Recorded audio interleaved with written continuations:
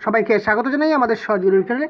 তো আজকে আমরা পরিবেশ বিজ্ঞান বা ইবিএস যেটি রয়েছে আমাদের তো ইবিএস এর কয়েকটি খুব গুরুত্বপূর্ণ প্রশ্ন আপনাদের সঙ্গে আলোচনা করব তার সঙ্গে আনসার হা কী রয়েছে সগুলি ভাই।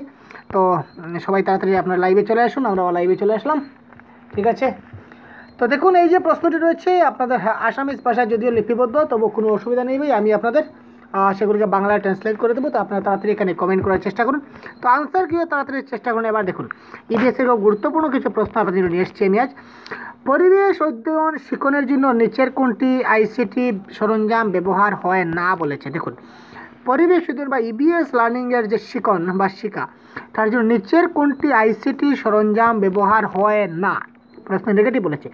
একটি হচ্ছে গুগল আর্থ একটি হচ্ছে গুগল প্লে স্টোর একটি হচ্ছে ভার্চুয়াল ইকোলজিক্যাল পয়েন্ট একটি হচ্ছে কি ভার্চুয়াল মাইসম ঠিক আছে তো এই প্রশ্নের কারেক্ট आंसर কী হবে ভাই আপনার লাইভে তাড়াতাড়ি বলে দিন ভাই करेक्ट आंसर কী হবে बहुत बढ़िया प्यार से मीडिया सवाल है दोस्तों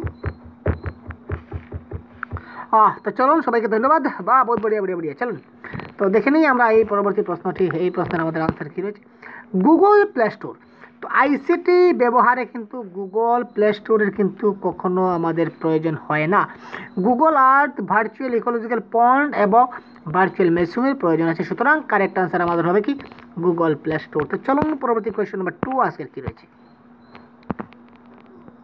सवाल जैसा भी पूछ लेगा तो क्या होगा दोस्तों आप लोग का कंसेप्ट क्लियर होना चाहिए बहुत बड़े प्यारा सा सवाल है ये উদ্ভিদ আৰু প্রাণীর মাজত থকা সম্পর্কের এটা মুখ্য কারণ অর্থাৎ উদ্ভিদ এবং প্রাণীর মধ্যে থাকা যে সম্পর্ক এই সম্পর্কের মুখ্য কারণ কি সহ অবস্থান আশ্রয় খাদ্য পরিস্থিতি তো এই ক্ষেত্রে কারেক্ট আনসার কোনটি হবে উদ্ভিদ প্রাণীর মধ্যে থাকার সম্পর্কের একটি মুখ্য কারণ সহ অবস্থান আশ্রয় খাদ্য পরিস্থিতি কীভাবে হবে তাড়াতাড়ি ঝটপট প্রশ্ন এবং ঝটপট আনসার আজকের ক্লাসে ঝটপট প্রশ্ন, ঝটপট আনসার মানে আপনারা দেখামাত্র আনসার করুন কমেন্ট করুন এবং আমরা দেখামাত্র আনসার আপনাদের করে দিচ্ছি ভাই। তো এই প্রশ্নের কারেক্ট আনসার হবে খাদ্য। উদ্ভিদ এবং প্রাণীর মধ্যে যে সম্পর্কের মুখ্য কারণ হচ্ছে খাদ্য। ভাই, খাদ্য ইজ মেইন চিজ আমরা খাদ্যের জন্য সব কিছু করি ভাই। আমরা জীবনে চাকরি করছি ভাই, খাদ্যের জন্য ভাই। মনে রাখবেন।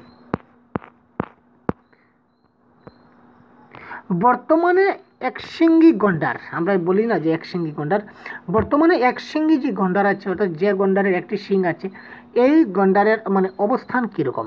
প্রায় বিলুপ্ত হয়ে গেছে অতিশয় বিপন্ন বা লুপ্তপ্রায় না স্পর্শকাতর। বর্তমান একশৃঙ্গি গন্ডারের সংরক্ষণ স্থিতি কী? বা একসঙ্গী গন্ডারের বর্তমানের অবস্থান কী? তো এই প্রশ্নের কারেক্ট আনসার কী হবে ভাই तुझे देखा तो ये सवाल का सनम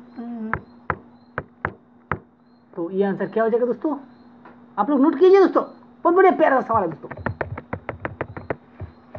তো ধন্যবাদ সবাইকে বা বহুত বড়িয়া বহুত বড়িয়া তো চলুন এই প্রশ্নের কারেক্ট আনসার হবে স্পর্শকাতর বর্তমানে একশৃঙ্গি গন্ডারের সংরক্ষণের অবস্থান কী ভাই সেটি হবে স্পর্শকাতর বহুত বড়িয়া সবাইকে ধন্যবাদ ভাই আপনাদের বহুত বড়িয়া জীবাশ্ম ইন্ধন উৎ- দেখুন আমরা এমন কনসেপ্ট আমরা ধরে ধরে ধরে এনেছি, যে যে পয়েন্ট থেকে আপনাদের পরীক্ষায় প্রশ্ন আসে, এই পয়েন্টগুলি আমরা কিন্তু কিনোট করেছি। অর্থাৎ এই প্রশ্নের কারেক্ট আনসার দিতে থাকুন ভাই ততক্ষণ আমরা একটু কথা বলে নিই। দেখুন, যে যে পয়েন্ট থেকে আমাদের কিনোট প্রশ্নগুলি আসছে, এই পয়েন্ট থেকে কিন্তু আমাদের আনসার করতে হবে। তাই আমাদের পয়েন্টগুলি খুব গুরুত্বপূর্ণ। তো জীবাশ্ম ইন্ধনের উদাহরণ, নিচের কোনটি? কয়লা ধাতু খারুয়া এবং খনিজ পদার্থ, কয়লা, প্রাকৃতিক গ্যাস এবং ঘরোয়া তেল যাকে বলা হয় খনিজ পদার্থ এবং ধাতু।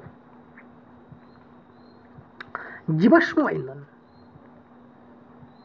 তো জীবাশ্ম ইন্ধন তারপর আমাদের যে নবীকরণযোগ্য সম্পদ অনবীকরণ সম্পদ রয়েছে, সেগুলি আপনার তাড়াতাড়ি করুন ভাই।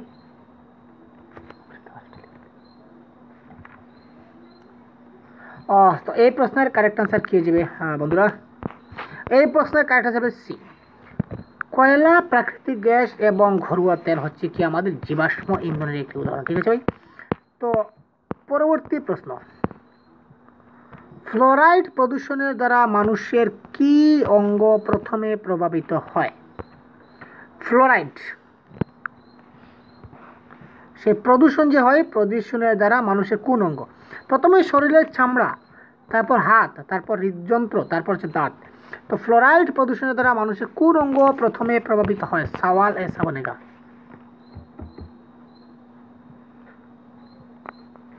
তো ফ্লোরাইড প্রদূষণের দ্বারা এই প্রশ্নের কারেক্ট আনসার বন্ধুরা সেটি হবে দাঁত ফ্লোরাইড প্রদূষণের দ্বারা আমাদের যে অঙ্গ প্রথমে প্রভাবিত হবে সেই অংশের কারেক্ট অ্যান্সার হবে কী হবে দা চলুন আপনাদের সবার আনসার কারেক্ট ভাই যারা কারেক্ট আনসার করেছেন তাদেরকে ধন্যবাদ যারা কারেক্ট আনসার করেনি তাদেরকে আরও বেশি ধন্যবাদ ভাই কারণ আবার চেষ্টা করেছেন ভাই চেষ্টারাম জয়রাম চেষ্টা হলে সকল খাম ভাই বহুত বড়িয়া বহুত বড়িয়া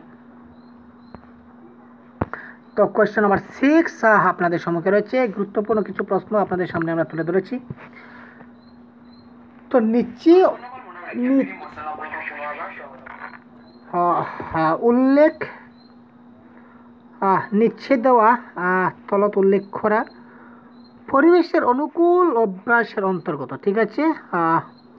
নিচে উল্লেখ করা কোন কেইটা অর্থাৎ পরিবেশ, অনুকূল অভ্যাসের। পরিবেশের যে অনুকূল অভ্যাস, অনুকূল অভ্যাসের অন্তর্ভুক্ত কোনটি দোকান বা বাজার করার যাওয়ার সময় হাতে কাপড়ের সেই ব্যাগ নিয়ে যাওয়ার অভ্যাস, অপ্রয়োজনীয়ভাবে যে রাস্তাঘাটে যে জলে থাকা লাইট বা চলে থাকা ফ্যানের সুইচ বন্ধ করে রাখার অভ্যাস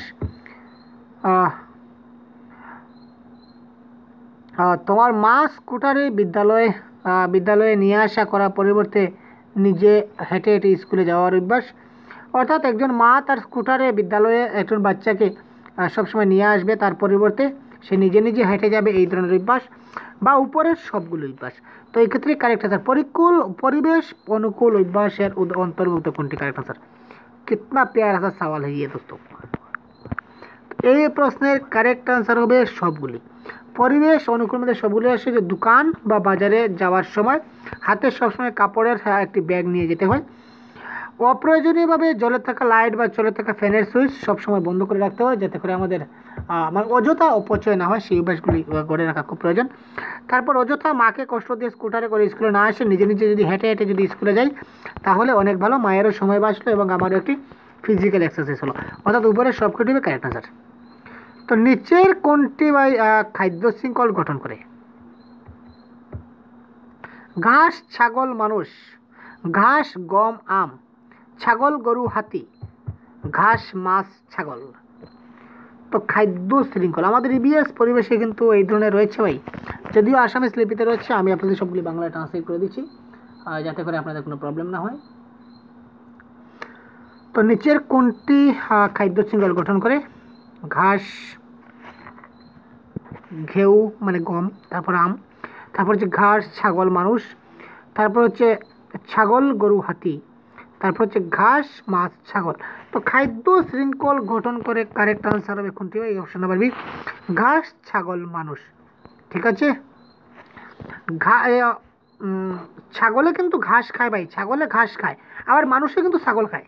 দেখুন ছাগলে কিন্তু ঘাস খায়, আবার মানুষের ছাগল খায়। এই যে একটি সিস্টেম এই সিস্টেম বলে খাদ্য শৃঙ্খল।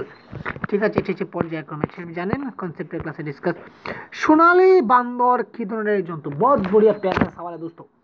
আপনাদের হ্যাঁ অনেক প্রিভিয়াস এর কোয়েশনে আমরা এই ধরনের প্রশ্ন দেখতে পাচ্ছি। সোনালি বান্দর, সেখানে নিশ্চিহ্ন হবে না, বিপন্ন হবে না, জনপ্রিয় হবে না, গুরুত্বপূর্ণ হবে? কারেক্ট আনসার কোনটি বন্ধুরা? সোনালি বান্দর। অর্থাৎ সোনালি বান্দর নিশ্চিহ্ন নিশ্চিন্ন মানে বুঝতে পারছেন নিশ্চিন্ন মানে একদম তার চিহ্ন নেই। তো বিপন্ন মানে হা, পাওয়া যাচ্ছে জনপ্রিয় মানে খুব পপুলার তো গুরুত্বপূর্ণ মানে ভেরি ইম্পর্ট্যান্ট তো সেটি কোন প্রাণী? গুরুত্বপূর্ণ প্রাণী। আচ্ছা ভাই, সোনালী বান্দর কী ধরনের মানে বোধবরিয়া আপনাদের কারেক্ট আছে আসে ভাই? ঠিক আছে বোধবরিয়া বলি আপনাদের কারেক্ট আনসার কমেন্ট করছে ভাই বোধ বলিয়া ঝটপট প্রশ্নের ঝটপট উত্তর। বিএসএর স্পেশাল ক্লাস ভাই আপনাদের আজকে। ঠিক আছে ভাই? बहुत बढ़िया प्यारा सा सवाल है प्यारा सा सवाल है आप लोगों के लिए बहुत बढ़िया बहुत बढ़िया सवाल इसी तरह का बनेगा दोस्तों তো চলুন আমরা ক্যারেক্টার সাথে দেখে নিই বাহ আপনাদের সবার আছে ক্যারেক্টার সবাই বহুত বড়িয়া বহুত বড়িয়া সেটি একটি বিপন্ন প্রজাতির প্রাণী সোনালি বান্দর হচ্ছে একটি কি ভাই বিপন্ন প্রজাতির প্রাণী আচ্ছা ঠিক আছে তো পরবর্তী প্রশ্ন আমরা দেখে নিচ্ছি গুরুত্বপূর্ণ প্রশ্ন বহিস্থানিক সংরক্ষণের উদাহরণ বহিস্থানিক টপ মোস্ট ফিফটি কোয়েশন আপনার জন্য আজকে আমরা সেট করে রেখেছি। যতগুলি সম্ভব হয় আমরা এই ক্লাসে সলভ করব বাকিগুলি আমরা পরবর্তী ক্লাসে সলভ করব। নয় নম্বর প্রশ্নে চলে এসেছি আমরা। তো বহিস্থানিক সংরক্ষণ উদ্ভিদের উদ্যান চিড়িয়াখানা জিন ব্যাংক না উপরের সবগুলি।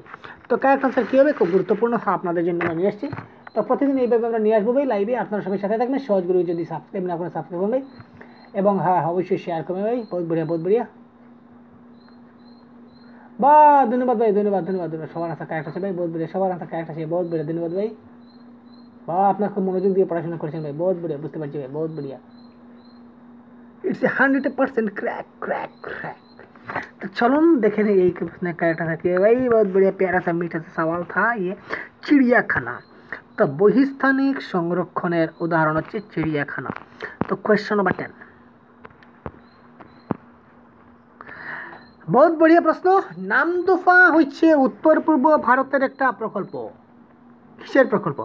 হাতি প্রকল্প গন্ডার প্রকল্প না বাঘ প্রকল্প না বান্দর প্রকল্প ভাই? বহুত বড়িয়া কারেক্ট আনসার সেটি কী হবে ভাই? নামদোফা হচ্ছে উত্তর ভারতের একটা প্রকল্প। সেটি কিসের প্রকল্প? হাতি প্রকল্প গন্ডার প্রকল্প না বাঘ প্রকল্প না বান্দর প্রকল্প? কিতনা সা মিঠা সা বন্ধুরা। তো চলুন বন্ধুরা, দেখে নেওয়া যাক আমাদের কারেক্ট আনসার কী হয়। আমরা দেখে নিই কারেক্ট আনসার আমাদের কী হবে। আহ, আপনার তাড়াতাড়ি কমেন্ট করবেন তাড়াতাড়ি কমেন্ট করবেন बहुत देखा मत आंसर भाई देखा मत आंसर कितना सा क्या खेल है भाई क्या खेल है क्या खेल है क्या खेल है আহ, কোথায় গেলে ভাই তাড়াতাড়ি চলে আয় ভাই হ্যাঁ এই মাত্র চলে আসছে দেখুন নামদফা হচ্ছে উত্তর পূর্ব ভারতের একটি হাতি প্রকল্প নামদফা হচ্ছে উত্তর পূর্ব ভারতের একটি কী বলব ভাই হাতি প্রকল্প হাতি প্রকল্প না ভাই, সেখানে গন্ডার হবে না ভাই, হাতি প্রকল্প বহুত বড়িয়া বহুত বড়িয়া তো চলো না কোয়েশ্চন নাম্বার এগারো, পরবর্তী প্রশ্ন দেখছি। ঘরোয়া আবর্জনার থেকে কেঁচু সার তৈয়ার করতে সহায়ক করে। ঘরোয়া আবর্জনা থেকে যে কেঁচু সার তৈয়ার হয়, তাতে সাহায্য করে কে সাহায্য করে? ভাইরাস, পতঙ্গ, না এবিধ বলয়ী প্রাণী, না ব্যাকটেরিয়া?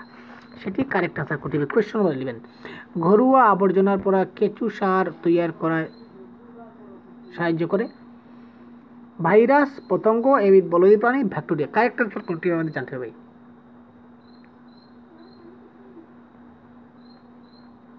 তো এই প্রশ্নের কারেক্ট আনসার কী হবে আমরা এবিধ বলয়ী প্রাণী?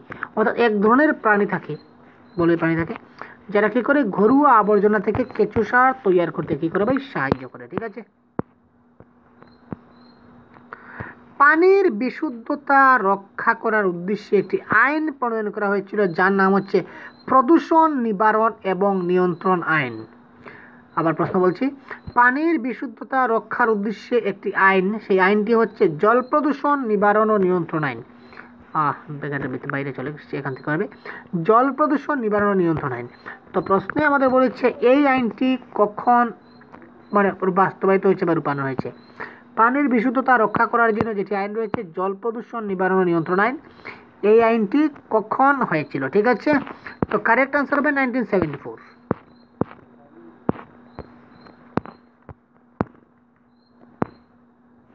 পরবর্তী প্রশ্ন। ভারতে পরিবেশ সম্পর্কীয় আইনসমূহের মধ্যে নিচে উল্লেখ করা কোন আইন সর্বপ্রথমে বলবৎ করা হয়েছিল? তো এই প্রসঙ্গে আপনাদের একটি কথা বলে রাখি। পরিবেশ সম্বন্ধীয় সব ধরনের আইন নিয়ে আমরা একটি ভিডিও আপলোড করে দিয়েছি অলরেডি আর সবগুলি আইন, ঠিক আছে? যত ধরনের আইন আছে, পরিবেশ সুরক্ষা আইন, বন্যপ্রাণী আইন, বনাঞ্চল আইন, জল প্রদূষণ আইন, অর্থাৎ কোনটি প্রথমে হয়েছে, কোনটি পরে হয়েছে, কোনটি কত সালে হয়েছে, কোনটি কীভাবে হয়েছে কোন আইন কত সালে হয়েছে, ঠিক আছে? এই সব নিয়ে আমি মাত্র একটি ভিডিও মাত্র পাঁচ মিনিটের একটি ভিডিও আমরা পাবলিক করে দিয়েছি এই এই ভিডিওতে আপনারা সব ধরনের আইন সম্বন্ধে পেয়ে যাবেন, পরিবেশ সম্বন্ধীয়। তো এই বিএসসির সেই আইন সম্বন্ধে একটি ভিডিও কনসেপ্টের ভিডিও আছে, অবশ্যই দেখে নেবেন। তাহলে যত ধরনের যে কোনো ধরনের আইন আপনাদের প্রশ্ন আসতে পারবেন। এবং আরেকটি হচ্ছে দিবস তো দিবস খুব গুরুত্বপূর্ণ ফ্যাক্টর বাই দিবস।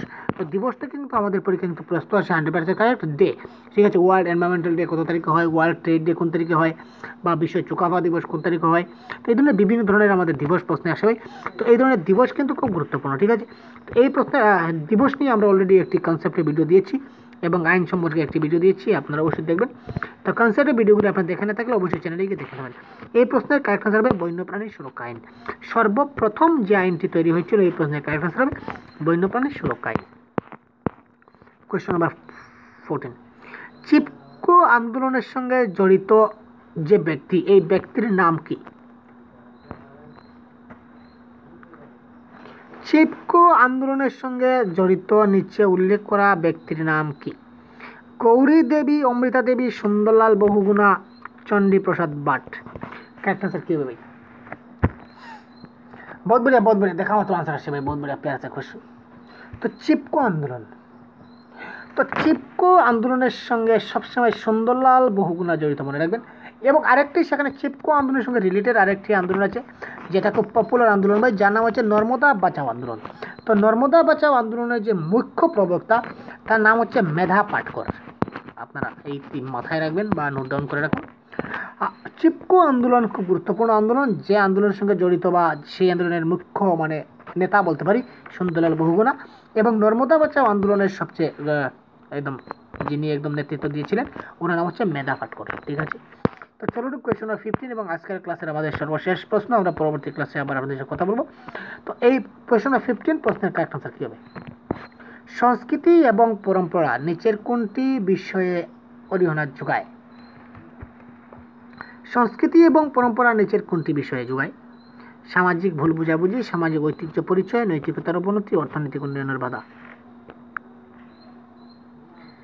এই প্রশ্নের কারেক্ট আনসার কী হবে ভাই? বহুত বড়িয়া বহুত বড়িয়া। এই প্রশ্নের কারেক্ট আনসার হবে সামাজিক ঐতিহ্য এবং পরিচয়। সামাজিক ঐতিহ্য এবং পরিচয় অপশন নম্বর বি হবে আমাদের এখানে কারেক্ট আনসার ঠিক আছে?